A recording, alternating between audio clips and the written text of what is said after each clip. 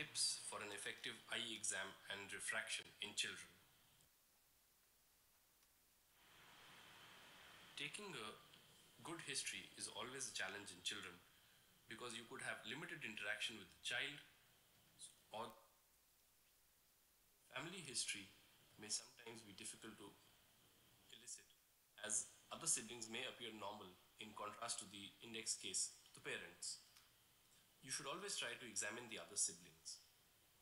Treatment history again is difficult to get because the actual person providing the treatment may be different from the informant, so ask for records.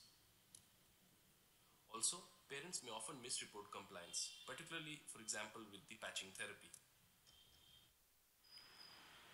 Let us move on to examination.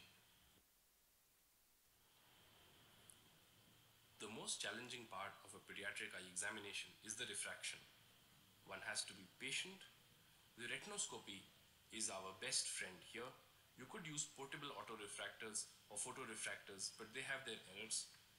The appropriate cycloplegia is important, such as atropine or cyclopentolate in the smaller children, particularly children who have got esotropia, and you can use uh, homatropine in slightly older children. Look for the head posture or external adnexa at a time when the child is not conscious, maybe typically when he's just walking into the room. For evaluating the ocular alignment the ocular movements, the best way to look for a cataract or any lenticular opacity is a distant direct ophthalmoscopy. The fundus evaluation in children is made easier with an indirect ophthalmoscope. An examination under anesthesia may be needed to screen the periphery. Specially prepared diluted diluting drops may be used in very small children. The intraocular pressure measurement in children is often not needed, but if it is, you could use the non-contact tonometry or you can do a Perkins tonometer, but an easy one these days is to use the tonopen or the iCare tonometer. More Special tests such as stereoacuity can be done using the two pencil test or, the, or using Lang stereoacuity or the Frisby-Davis distance 2. All these tests are easy for a child to understand, comprehend, and respond to. Thank you for your patient listening. So, uh, th- uh, thank thanks, of course, to Digvijay that he uh, presented. Uh, uh, of course, it finished a wee bit early, so if there are any points, one or two, which we could make or any queries that you would have, he raised the point of uh, dilatation. So, the key importance to remember that in all cases of esotropia, particularly uh, even in young children and even teenagers, especially if they are recent onset, you must, the first refraction must be under atropine. However inconvenient it may appear, the first refraction should be under atropine. Ointment is preferred, especially in young children.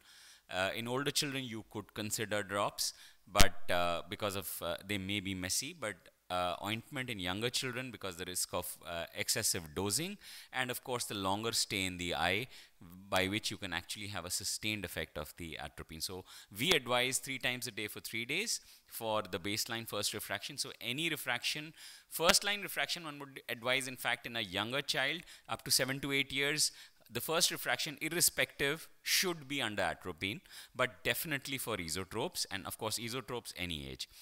We generally do not prefer cyclopentolate because of their uh, definitely reported neurological signs. And just in case if you are considering it may be important that you keep the child under observation for a little while in your OPD because the children are known to have neurological side effects or behavioral abnormalities which can uh, you know be very disturbing for the parent because he's come for an eye exam and finding the child behaving unusually may be an issue. So uh, that those are very very important things. Dr digvijay has listed out all the things that can be done in the first eye exam, but all, of course, are not necessary. The important thing is to remember that the first, and that's what, uh, uh, and uh, something I follow in my clinic, that the first exam should be an extremely happy one for the child. So do not struggle to get his vision. If possible, prefer not to dilate unless it's an important, it's you know urgent or they cannot come back my usual working uh, routine would be that the first eye exam would be a general exam, understand the complaints, try and reassure the patient, and give them a plan of what I am uh, wanting to do in the subsequent visits. Whenever I need, or if I, and more often than not, you would need a dilated exam, especially for refraction. Uh, to put the blame on those uh, bad eye drops, I ask the parents to put the drops and, of course, if it's an atropine ointment at home, so that the child does not associate the unpleasant experience of the dilating drops with me. And uh, of course, the parents put it when the child comes next time, we plan for the refraction. So, uh, like I said, first time uh, try to make it a pleasant experience. Most children are, uh, you know, think of doctors as pediatricians and remember doctors as uh, those vaccinators who keep poking needles or drawing blood. So we don't want that impression, and we don't want uh, non-cooperation, especially taking vision. And again, one thing you'll remember, you should remember, it's not necessarily the vision may be subnormal. The children will read a few lines and then just sit down and relax and think that you know I'm, my job is done.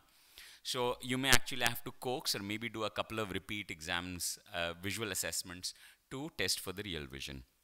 So we'll probably go on to the next talk by Dr. Suma and maybe keep coming back and forth as we'll see how specific uh, uh, tests or specific examination techniques are there in each and every specific uh, disorder of uh, pediatrics, uh, of pediatric ophthalmology.